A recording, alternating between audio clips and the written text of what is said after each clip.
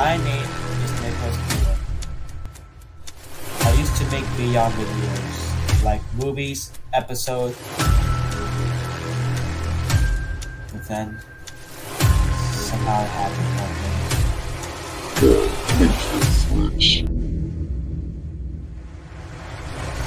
You want Beyond to get shut down for good because of incidents?